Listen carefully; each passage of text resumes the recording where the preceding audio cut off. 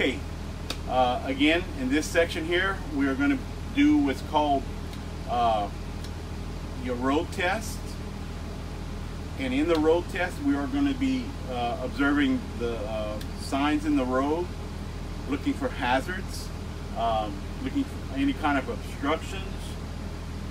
Uh, we're going to be reading uh, weight limits on bridges, the heights on bridges. We'll do a, a roundabout to show how you do in a roundabout.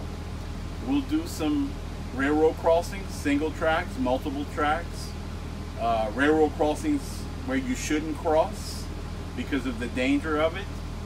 We'll also do uh, emergency pullovers on the side of the road, what we, you have to do in the case of an emergency. Uh, I'll explain all that as we driving. And this all needs to be done when doing a skills test on the road. So I hope this helps. Stay tuned. Okay, when you're in the neighborhood, it is suggested that you look one city block or a quarter of a mile, looking for any kind of hazards, any pedestrians, children on bicycles, vehicles, whichever.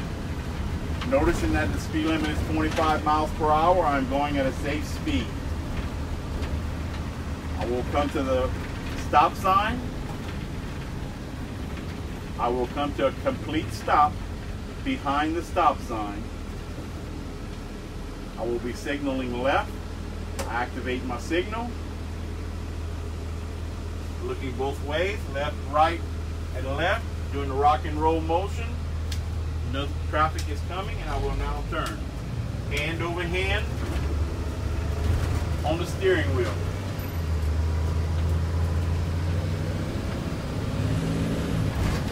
Okay, we are approaching an intersection. And again, you can see the signs telling you the direction you need to go. The junction highway that we are coming up to. We are going to be taking a right. I will now apply my right hand signal. Noticing that solid white line, that curve, you have to stay on the left side of it. You cannot go over the white line. We are now going to make a turn once the light turns green. And I will want you to notice my pivot point that I will allow my bus to make a complete turn without touching the solid white line. With your peripheral vision, you want to notice your turn and you're staying in your lane, hand over hand. Okay, um, an intersection here. Again, note that the speed limit is 45 miles per hour. And notice that there's a drawbridge a thousand feet ahead of us, giving us fair warning. Um, make a note that if that drawbridge comes down, you have to stop at least 50 feet before it.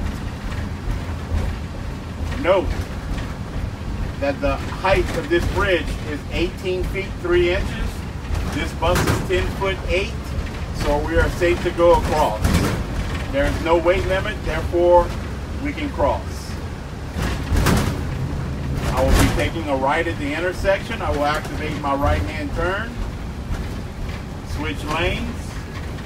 Again, using your peripheral vision, finding your pivot point on the bus. I will use a hand over hand turn, staying away from your solid white line and your curve. Staying speed limit 45 miles per hour. Now the speed limit is 55 miles per hour. In a school bus with students, the maximum speed is 55 miles per hour.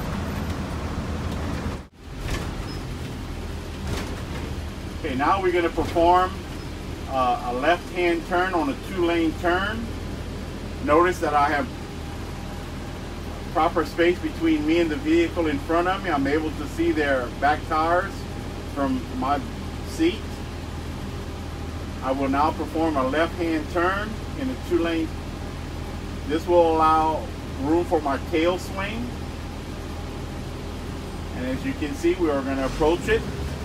I am going to go under the lights or where there is normally trash in the middle of the road, about this point here. I will then begin turning hand over hand and I will make my turn completely. Again, drawbridge, the height is 18.3 and there's no weight limit.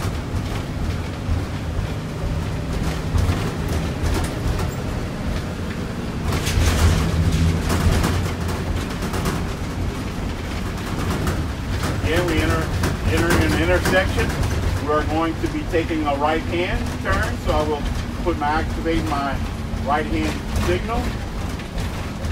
Again, being aware of the solid white line in the curve. Using my peripheral vision, I will make a complete right hand turn, staying away from the solid white line or the curve. Hand over hand, both hands on the steering wheel.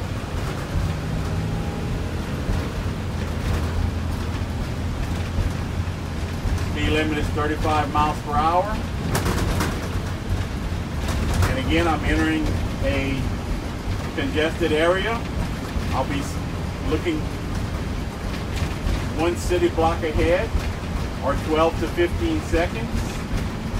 Speed limit is 35 miles per hour. I am going at a safe speed.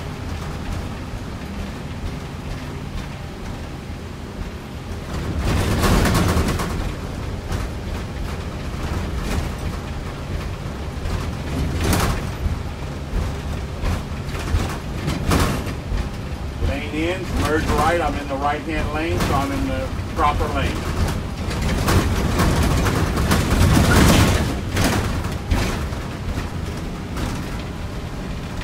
Approaching the yield sign, we are going to go around a roundabout. Yielding to get on. Looking to the left, no traffic. I will then get on to the roundabout. And when you are in a roundabout, you have the right of way all the way around.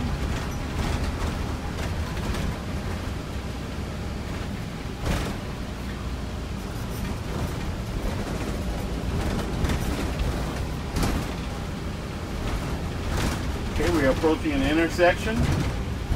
And looking ahead, we have a drawbridge. And note that this drawbridge has a weight limit, 15 tons and 25 tons. This bus is 14 and a half tons, therefore I am safe to go over. The height of the bridge is 1411. My bus is 10 foot 8, therefore I'm safe to go under.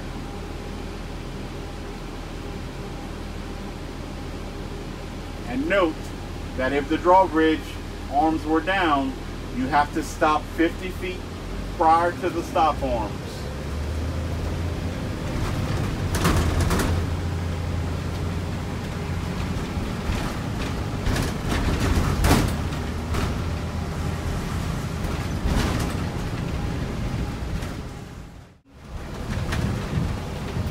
The highway coming up to an intersection. Light was green. And notice that my phone is ringing, even though it's my wife. I do not answer that phone because you cannot drive and talk on a cell phone at the same time. It's a state law. If it's that important, you need to pull over and make that phone call or answer the phone. Do not answer the phone while driving a school bus. Have a student, have a coach, a teacher, or whoever's riding the bus answer it for you if you need to.